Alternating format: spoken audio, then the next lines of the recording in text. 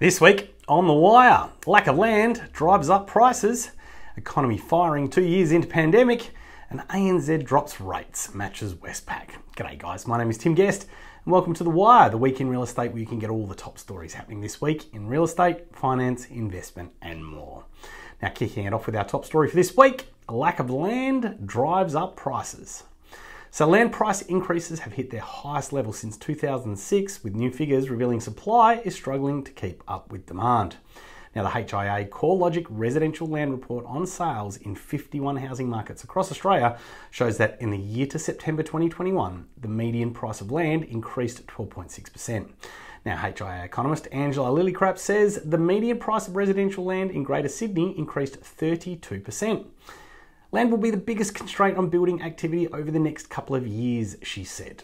The current shortage of land will impact the industry at a time when the broader economy needs construction to help pull it forward.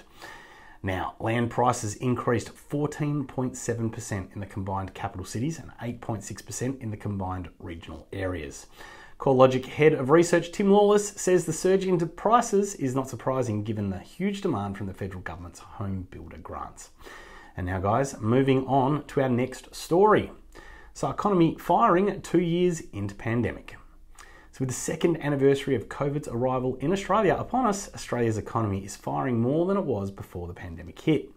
Australia's recorded its first case of COVID on 25th of January 2020, and with that came predictions of an economic crisis.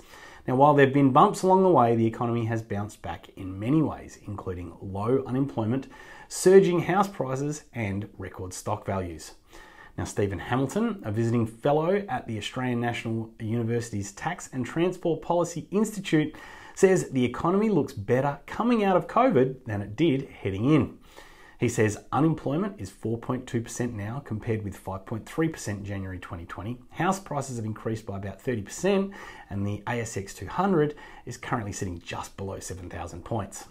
Now, while there are plenty of silver linings, according to Hamilton, there have also been enormous costs imposed on individuals and businesses.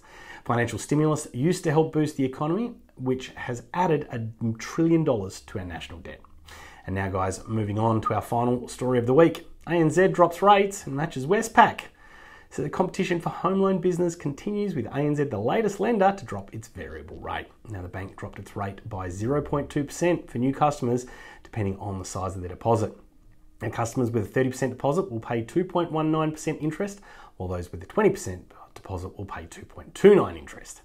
Now, City Rate Research Director Sally Tindall says the move by ANZ means it has now matched Westpac in having the lowest variable rate among the big banks.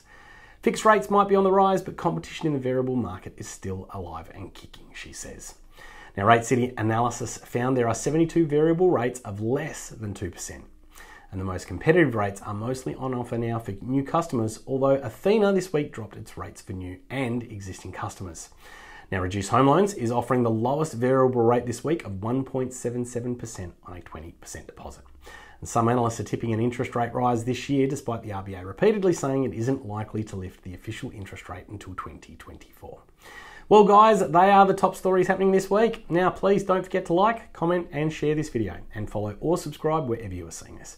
Have a great week, and remember, there's only one thing in life that makes a difference that's action. Thanks a lot. Bye for now.